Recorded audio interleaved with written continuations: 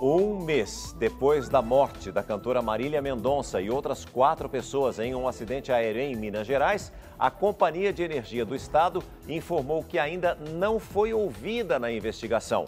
Direto de Belo Horizonte, a repórter Maiara Foco traz todos os detalhes agora. Conta tudo pra gente, Maiara. Bom dia.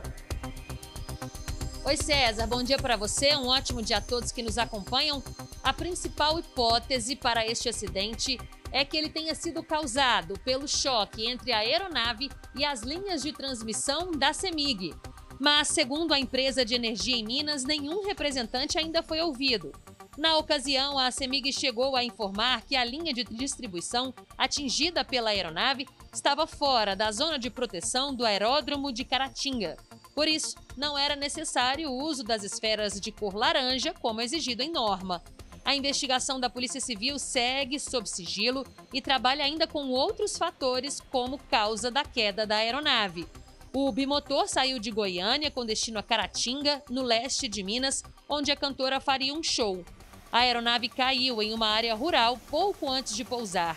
O CENIPA, que é o órgão da aeronáutica, investiga o acidente paralelamente à Polícia Civil.